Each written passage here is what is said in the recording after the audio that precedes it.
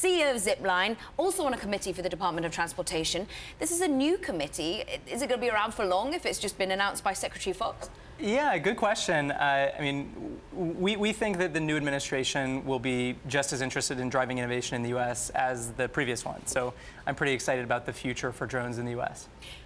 And when it comes to drones in the US, you've already been deploying in Rwanda. What are the lessons that you've learned? I mean, some phenomenal things that your company does, delivering blood and the like, in just in time for, for doctors in remote places. What are the learnings that you've had to deploy in the US?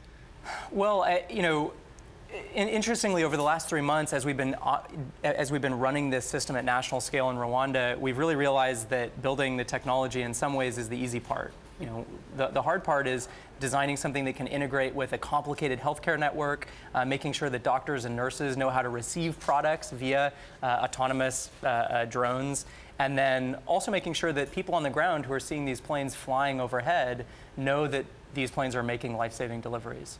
I mean, Rwanda was very keen, as we see on these pictures, amazing pictures, to accept this sort of help. The regulatory issues weren't there. How much of there is a hurdle here in the United States and in other countries when it comes to adapting the regulation to ensure this sort of thing can happen? Well, interestingly, Rwanda has a pretty similar uh, regulatory regime to the U.S. They borrow a lot from the U.S. in terms of rules for uh, both airplanes and drones. Uh, the difference really is that A, the need is so incredibly high when you can make a delivery that is directly saving someone's life.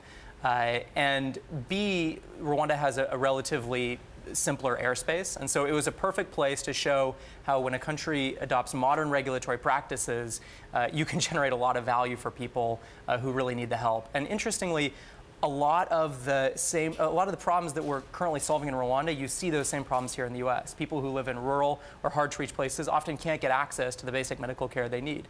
So our hope is that the, the role model that Rwanda is playing right now will influence the U.S. in terms of providing similar uh, levels of, of healthcare access here in this country. So FAA approval close? I hope so. We are uh, we're going through the process with the FAA, talking to them about what it's going to take to basically uh, to, to, just get to a point where these kinds of systems can be operated in a way that saves people's lives and in a way that's safe for people on the ground and in the sky. Other countries coming clamoring to your door?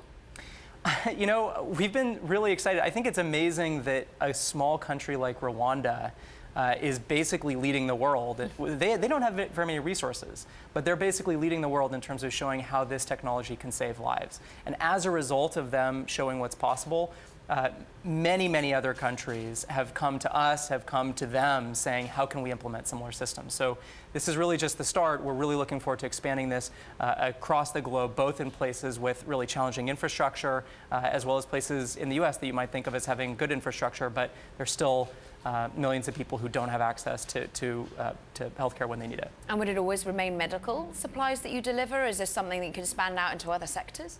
You know, without mentioning names, there are um, several big companies that are trying to deliver like Slurpees or pizza or burritos using drones. As a company, we're really driven by the mission of uh, delivering medicine to people across the world, especially in the hardest to reach places. So that's a very large problem. 5.8 million kids die every year due to lack of access to basic medical products.